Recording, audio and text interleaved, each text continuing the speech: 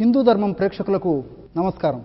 వేద వైద్యం కార్యక్రమానికి స్వాగతం. నమామి ధన్వంతరి మాదిదేవం లోకే జర రుక్ భయ మృత్యునాశం ధాతారమీశం వివిధౌషధీనాం ఆహార సంభవం వస్తు రోగశ్చ ఆహార సంభవ హితాహిత విశేషశ్చ విశేష సుఖదుఖయో అంటుంది మన ప్రాచీన భారతీయ ఆయుర్వేద వాంగ్మయం. మన శరీరం ఈ ఆహారం వలన ఉద్భవిస్తుందని ఈ ఆహారం వల్లనే ఉద్భవించినటువంటి ఈ శరీరానికి ఆహారం వల్లనే వ్యాధులు వస్తాయని దీని అర్థం. భగవంతుడు ప్రసాదించినటువంటి ఈ ఆహారాన్ని సక్రమంగా సద్వినియోగం చేసుకోవడంపైనే మన మనుగడ జీవనం ఆధారపడి ఉంటాయంటే అతిశయోక్తి కాదు. అటువంటి ఆహార పదార్థాల వంటకాల తయారీలో రంగు రుచి సువాసన కొరకు మనం అనేక రకాలైనటువంటి ఒంటింటి ఔషధాలను వాడుతూ ఉంటాం. ఆయుర్వేద వైద్య విధానంలో అంతర్భాగమైన ఆ ఒంటింటి ఔషధాల్లో ఒక ఔషధం దాల్చిన చెక్క గురించి తెలుసుకుందాం. ఈ దాల్చిన చెక్క ప్రతి ఇంట్లో ఉండేటువంటి ఒంటింటి దినుసే. మనకందరూ చూసే ఉంటారు మనకందరికీ తెలిసే ఉంటుంది వంటల్లో వాడేటువంటి విధానం కూడా తెలిసే ఉంటుంది. కానీ ఔషధపరంగా చాలామందికి దాని విలువ తెలియదంటే అతిశయోక్తి కాదు. నిజంగా చెప్పాలంటే దాల్చిన చెక్క ఒక అపర సంజీవినిలా పనిచేసేటువంటి భగవంతుడు ప్రసాదించినటువంటి భగవంతుడు సృష్టించినటువంటి ఒక మహాద్భుతమైనటువంటి ఔషధి అంటే అతిశయోక్తి కాదు. ఇటువంటి దాల్చిన చెక్కని మన మహర్షులు దారుసిత అనేటువంటి పేరుతో ప్రస్తావించడం జరిగింది. అంతేగాక మన మహర్షులు దాల్చిన చెక్క ఆకుపత్రి ఏలకులు నాగకేసరాలు ఈ నాలుగింటిని కలిపేసి చతుర్జాతకాలు అనే వర్గంలో కూడా చేర్చడం జరిగింది. ఈ దాల్చిన చెక్కని సినమం జైలానికం అని శాస్త్రరీత్యా ఆధునికంగా పిలవడం కద్దు. మరి ఇలాంటి అత్యుత్తమైనటువంటి దాల్చిన చెక్కలో కేవలము ఆహారపరమైనటువంటి విలువలే కాకుండా ఔషధపరమైనటువంటి విలువలే కాకుండా సౌందర్యపరంగా కూడా ఎంతో విలువలను సంతరించుకుంది ఈ దాల్చిన చెక్క మహాతల్లి. మరి ఆ మహాతల్లిని మనం సద్వినియోగం చేసుకొని ఎలాంటి వ్యాధులకు ఎలా వాడుకొని ఆ యొక్క వ్యాధుల నుంచి బయటపడవచ్చో తెలుసుకుందాం. భగవంతుడు ప్రసాదించిన ఈ దాల్చిన చెక్కని ఔషధంగా ఏ ఏ వ్యాధులకు ఉపయోగించుకోవచ్చో ఇప్పుడు తెలుసుకుందాం. జలుబు దగ్గుకి దాల్చిన చెక్కని ఎలా వాడుకోవాలనే విషయం తెలుసుకుందాం. ఈ జలుబు దగ్గు అనేవి మనకు ఎప్పుడో ఒకసారి ఏదో ఒక టైంలో ఖచ్చితంగా వచ్చి ఉన్నటువంటి సమస్య అంటే అత్యుక్తి కాదు. ఈ దగ్గు జలుబు ఇలాంటి శ్లేష్మ దోషాలన్నీ వాతావరణ కాలుష్యం వల్ల కొన్ని రకాలైనటువంటి అలర్జీల వల్ల కొన్ని రకాలైనటువంటి క్రిమిదోషాల వల్ల అదేవిధంగా కొన్ని రకాలైనటువంటి జీర్ణాశయ జీర్ణాశయ రుగ్మతల వల్ల దగ్గు జలుబు ఇలాంటివి వస్తూ ఉంటాయన్నమాట. ఇలాంటి సందర్భాల్లో దాల్చిన చెక్క మీద చక్కటి సరి అయిన అవగాహన మనం పెంపొందించుకోగలిగితే అతి చిన్న వైద్యంతోనే చక్కటి ఫలితాన్ని పొందవచ్చు.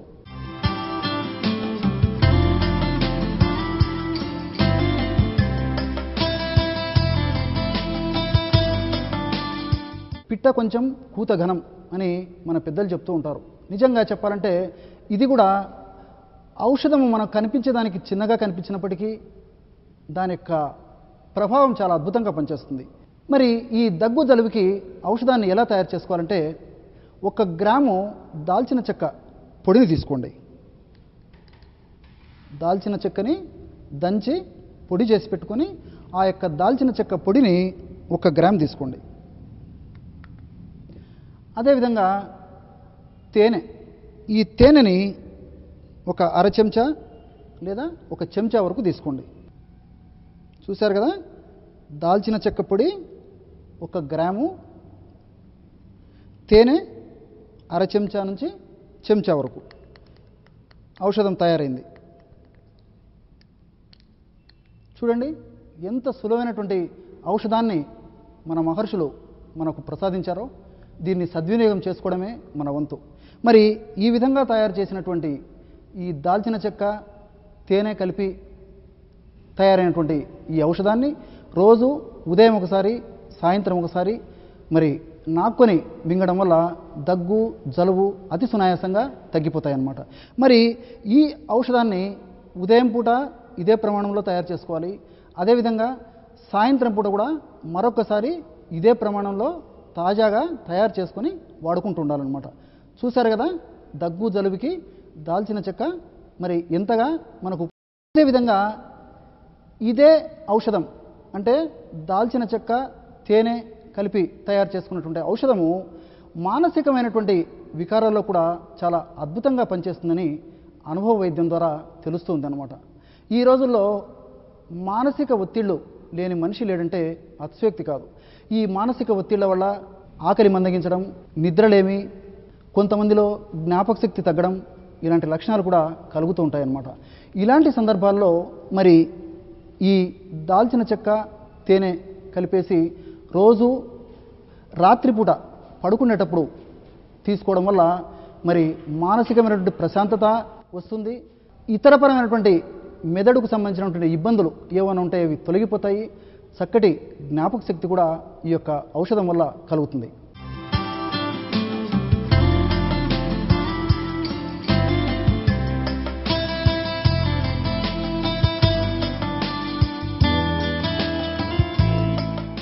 ఇదే ఔషధాన్ని మరొక వ్యాధికి కూడా ఉపయోగించుకోవచ్చు అంటే చాలా ఆశ్చర్యం వేస్తుంది.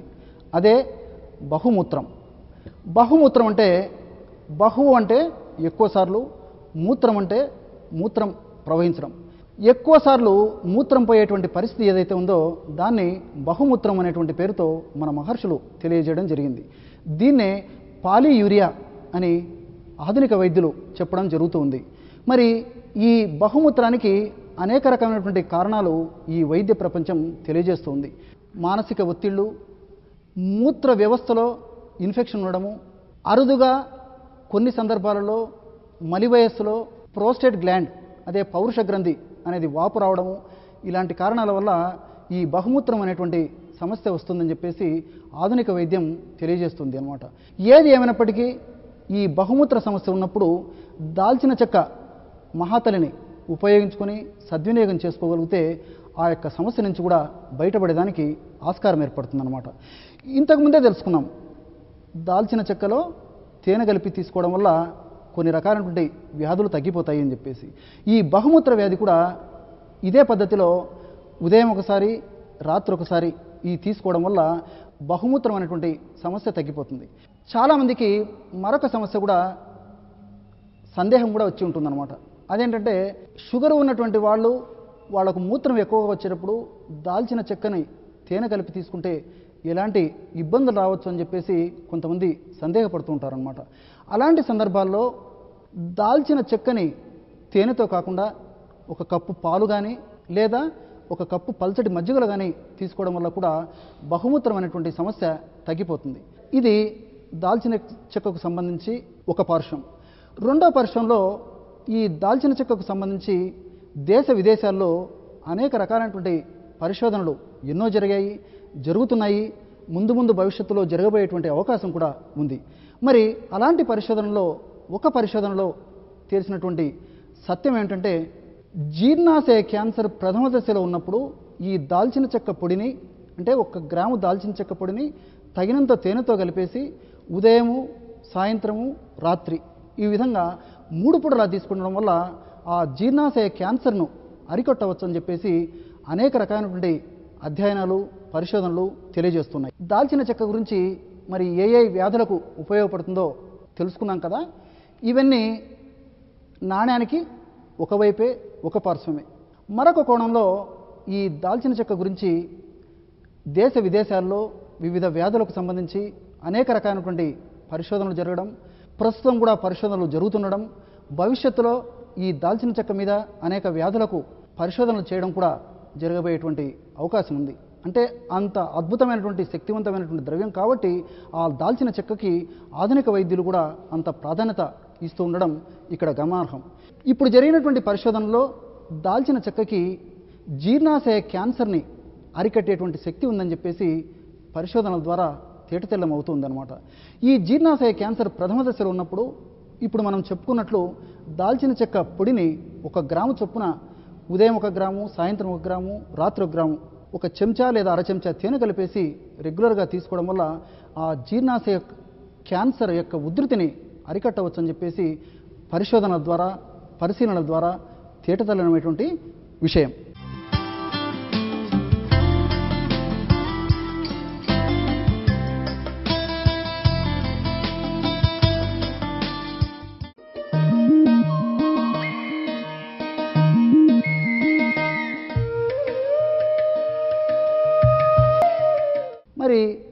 దాల్చిన చెక్కని మరెన్న వ్యాధులకు కూడా ఉపయోగించుకోవచ్చు.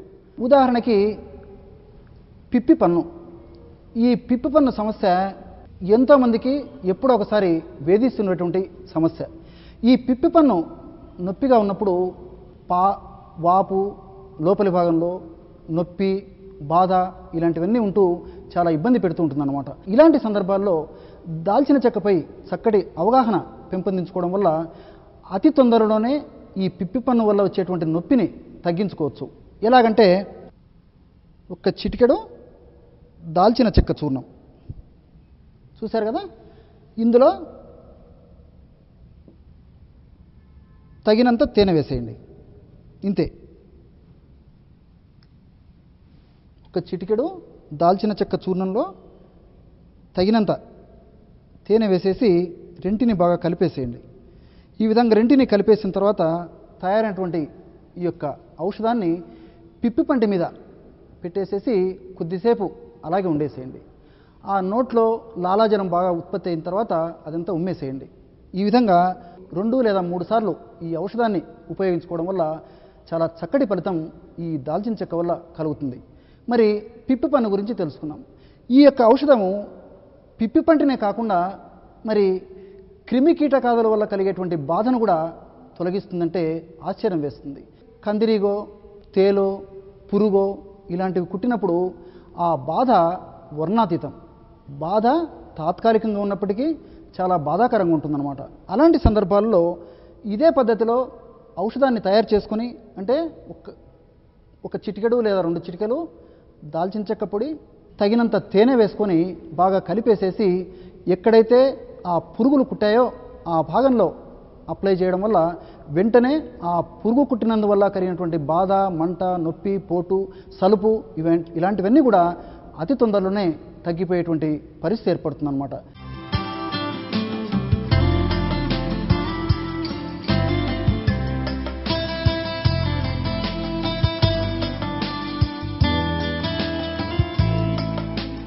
ఇదే దాల్చిన చెక్కని మరొక సమస్యకు కూడా ఔషధంగా వాడుకోవచ్చు అనమాట ఈ దాల్చిన చెక్కని కొన్ని రకాలైనటువంటి చర్మ వ్యాధుల్లో ముఖ్యంగా వాడుకోవచ్చు. ఎగ్జిమా గజ్జి తామర ఇలాంటి చర్మ వ్యాధుల్లో కూడా ఈ దాల్చిన చెక్కని ఇంతకుముందే మనం చెప్పుకున్నాం కదా దాల్చిన చెక్క తేనె కలిపి తయారు చేసుకున్నటువంటి అపర సంజీవినిలా తయారైనటువంటి ఈ ఔషధాన్ని మరి గజ్జి తామర దురద ఇలాంటి సమస్యలకు కూడా పైపూత మందుగా వాడుకోవడం వల్ల ఆ యొక్క సమస్యలు కూడా క్రమక్రమంగా సమసిపోతాయి. చర్మ వ్యాధులకి దాల్చిన చెక్క గురించి తెలుసుకున్నాము. మరి చర్మానికి వచ్చేటువంటి మరొక సమస్య మొటిమలు. ముఖ్యంగా యువతి యువకుల్లో ఈ మొటిమలు రావడం చాలా చాలా కద్దు. దీన్నే మన మహర్షులు ప్రాచీన కాలంలోనే ఆయుర్వేద గ్రంథాల్లో యవాన పిటికలు అనేటువంటి పేరుతో ప్రస్తావించడం జరిగింది. యవాన పిటికలు యవానము అంటే యవనం ముఖ్యంగా టీనేజ్. పిటికలు అంటే సన్న సన్న గుల్లలు. ముఖం పైన సన్న సన్న గుల్లలు ఏర్పడి చర్మానికి వికారం కలుగజేసేటువంటి పరిస్థితి ఏదైతే ఉందో వాటిని మరి యవాన పిటికలు అని చెప్పేసి మన మహర్షులు చెప్పడం జరిగింది. మనకందరికీ తెలిసినటువంటి పదము పింపుల్స్. మరి ఈ పింపుల్స్ లేదా ఆధునిక వైద్యంలో పిలువడేటువంటి యాకిన్ బొల్గారిస్ లేదా యవాన పిటికలకి దాల్చిన చెక్కతో చాలా చక్కటి ఔషధం ఉంది. ఇక్కడ మరొక విషయం కూడా మనం తెలుసుకోవాలి. టీనేజ్లో వచ్చేటువంటి సమస్య కాబట్టి యవాన పిటికలు అని చెప్పేసి మన మహర్షులు తెలియజేశారని కూడా తెలుసుకున్నాం. మరి టీనేజ్ అంటే మీకందరికీ తెలిసి ఉంటుంది. చెప్పండి మరి. టీన్ ఏజ్ బాగా ఆలోచన చేయండి. మీకందరికీ తెలిసినటువంటిది. టీన్ ఏజ్ అంటే thirteen fourteen fifteen sixteen seventeen eighteen nineteen ఇవన్నీ టీనేజ్లు అనమాట ఈ వయస్సులో ముఖం మీద వికృతి కలిగేటువంటి పరిస్థితి ఉంది కాబట్టి యవాన పిటికలు అనేటువంటి పేరుతో ప్రస్తావించడం జరిగింది. ఈ మొటిమల సమస్య వచ్చినటువంటి యువతీ యువకులు ముఖ్యంగా మరి యుక్త వయస్సులో ఉన్నటువంటి యువతీ యువకులు పడేటువంటి బాధ అంతా ఇంత కాదు. ఈ మొటిమలు తగ్గించుకునేదానికి రకరకాలైనటువంటి ప్రయత్నాలు చేస్తూ మరి కొందరికి కొంతవరకు ఫలితం కలిగితే కొంతమందికి చక్కటి ఫలితాలు కలిగితే మరికొంతమందికి ఆశాజనకమైనటువంటి ఫలితాలు కూడా కలగకుండా విసిగి వేసారి ఆ మందులను కూడా మానేసేసి అలాగే బాధపడడం కూడా నిత్య జీవితంలో ఎంతోమందిని చూస్తూ ఉంటాం. ఇలాంటి సందర్భాలలో అతి తక్కువ ఖర్చుతో అత్యంత విలువైనటువంటి ఔషధ గుణాలు కలిగినటువంటి దాల్చిన చెక్క పైన సదవగాహన కలిగి సద్వినియోగం చేసుకోగలిగితే ఆ మొటిమలు క్రమక్రమంగా తగ్గిపోతాయి. ఆ మొటిమల వల్ల ఎలాంటి ఉపద్రవాలు కూడా ఉండకుండా ఉంటాయన్నమాట. మరి అలాంటి దాల్చిన చెక్కని మొటిమలకి ఎలా ఔషధంగా వాడుకోవాలనో చూద్దాం.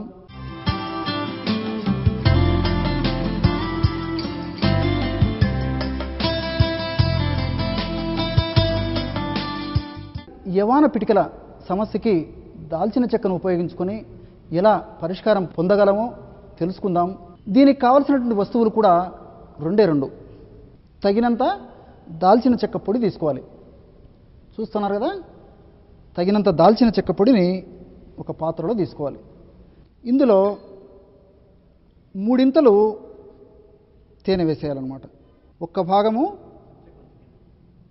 దాల్చిన చెక్క పొడి అయితే మూడు భాగాలు తేనె తీసుకోవాలి ఈ విధంగా. ఈ విధంగా దాల్చిన చెక్క తేనె రెంటిని బాగా కలిపేసేసి మొటిమలు ఎక్కడైతే ఉన్నాయో ఆ భాగంలో పలుచగా పట్టించేసి ఒక గంట ఆగిన తర్వాత గోరువెచ్చ నీళ్ళతో ఆ మొహాన్ని కడుక్కోవడం వల్ల క్రమక్రమంగా ఆ మొటిమల సమస్య తగ్గిపోతుందన్నమాట. ఇక్కడ మనం మరొక విషయం కూడా గుర్తుంచుకోవాలి. మిగతా సమస్యలకి మరి దాల్చిన చెక్కని తేనెతో కలిపి ఎలా వాడాలో తెలుసుకున్నాం. ఇక్కడ మాత్రము మరి దాల్చిన చెక్క ఒక్క భాగం అయితే మూడు భాగాలు తేనె ఉండాలని చెప్పేసి ప్రత్యేకంగా చెప్పడం జరుగుతుంది. కారణము దాల్చిన చెక్క శక్తివంతమైనటువంటి ఔషధి వస్తువు కాబట్టి మరి దాల్చిన చెక్కలో తేనె కొద్దిగా వేయడం వల్ల ఆ చర్మం మీద మంట వచ్చేటువంటి అవకాశం ఉంటుంది కాబట్టి ఆ మంట అనేది ఎక్కువగా రాకుండా ఉండి ఇతర ఇబ్బందులు లేకుండా ఉండేదానికి సాత్వికమైనటువంటి మధుర పదార్థమైనటువంటి ఈ తేనెను కలపడం వల్ల అలాంటి సమస్యలు లేకుండా ఉంటాయి. ఔషధం కూడా చాలా త్వరగా పనిచేస్తుంది. తెలుసుకున్నారు కదా? మరి దాల్చిన చెక్కను ఉపయోగించి యవాన పిటికెలు లేదా మొటిమెలు లేదా యాకిన్ వల్గారిస్ అని చెప్పబడేటువంటి యువతీ యువకుల సమస్యకి ఎలా పరిష్కారం దొరుకుతుందో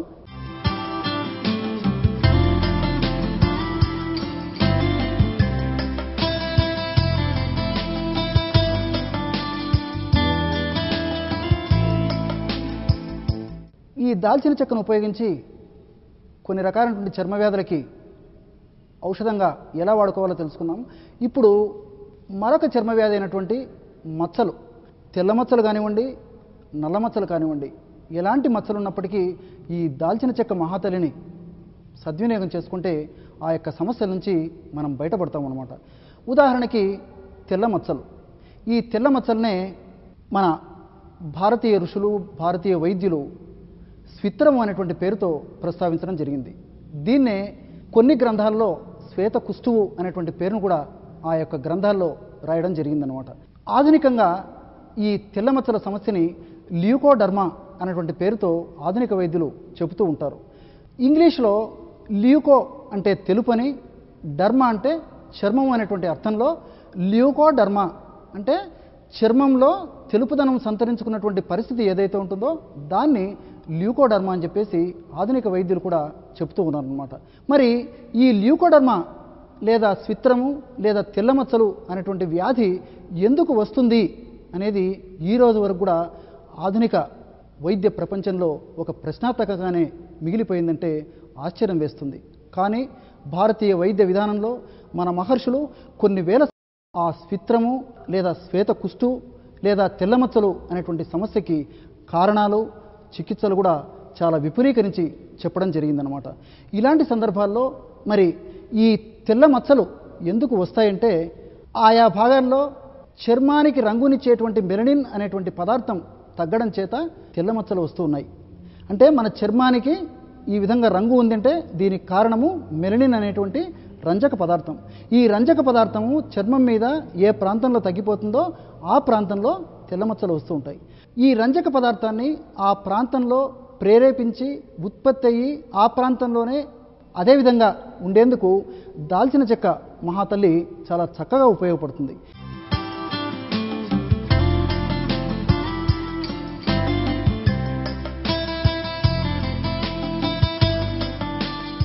ఒక పాత్రలో కొద్దిగా నీరు తీసుకోండి ఈ విధంగా. ఒక రాయి మీదైనా పర్వాలేదండి మీకు ఎలా వసతి ఉంటే అలా తయారు చేసుకోవచ్చు అనమాట నీరు తీసుకొని ఈ దాల్చిన చెక్క ఏదైతే ఉందో ఈ దాల్చిన చెక్కని ఈ విధంగా కొద్దిసేపు బాగా నూరేసేయండి. దాల్చిన చెక్కని కొద్దిగా నీటితో నూరేసి గంధంలాగా పదార్థం తయారై ఉంటుంది. ఈ పదార్థాన్ని తెల్ల మచ్చల మీద లేపనం చేస్తూ ఉండాలన్నమాట ఇంతే. ఒక గంట సేపు ఆగిన తర్వాత నీటితో కడుక్కుంటూ ఉండాలి. ఈ విధంగా రోజు ఒక్కసారి చేయడం వల్ల మెరిడిన్ అనేటువంటి రంజక పదార్థం అక్కడ ఉత్పత్తి అయి ఆ తెల్లమచ్చల సమస్య క్రమక్రమంగా తగ్గడం మొదలవుతుంది. మరి తెల్లమచ్చల గురించి తెలుసుకున్నాం నల్లమచ్చల పరిస్థితి ఏంటి అని చెప్పేసి మీకు సందేహం రావచ్చు. ఈ నల్లమచ్చల సమస్యకు కూడా మరి దాల్చిన చెక్క ఉపయోగపడుతుందని కూడా ఇంతకుముందే చెప్పుకున్నాము. ఈ నల్లమచ్చల సమస్యకి నీరు కాకుండా నిమ్మరసం ఒక పాత్రలో కొద్దిగా నిమ్మరసం తీసుకోండి. ఒక పాత్రలో కొద్దిగా నిమ్మరసం తీసుకొని దాల్చిన చెక్కని ఇలా బాగా నూరేసేయండి. అవసరమైతే కొద్దిగా పొడైన వాడుకోవచ్చండి. లేకపోతే దాల్చిన చెక్కని వాడుకుంటే సరిపోతుంది. బాగా నూరిన తర్వాత వచ్చినటువంటి ఈ గంధం ఏదైతే ఉందో ఆ గంధాన్ని నల్లమచ్చలు ఉన్నటువంటి ప్రాంతంలో పూసేయాలన్నమాట. ఈ విధంగా రెగ్యులర్గా రోజు ఒకసారి చేయడం వల్ల ఆ నల్ల మచ్చలు కూడా క్రమక్రమంగా తగ్గిపోయి చర్మం చక్కటి ఆరోగ్యాన్ని సంతరించుకుంటుంది.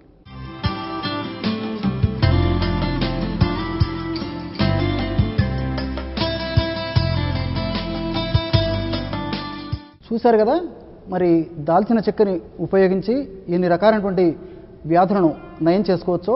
చర్మ వ్యాధులకి బహుమూత్రానికి బాగా నిద్ర పట్టేందుకు పిప్పి పంటికి మరి మొటిమలకి తెల్లమచ్చలకి నల్లమచ్చలకి ఇలాంటి అనేక రకాలైనటువంటి వ్యాధులకి దాల్చిన చెక్క మహాతలిని సద్వినియోగం చేసుకొని ఎలా ఆ వ్యాధుల నుంచి బయటపడవచ్చో తెలుసుకున్నాం కదా. మరి రేపు మరొక కార్యక్రమంలో మరొక అంశం గురించి తెలుసుకుందాం. లోక సమస్త సుఖినో భవంతు.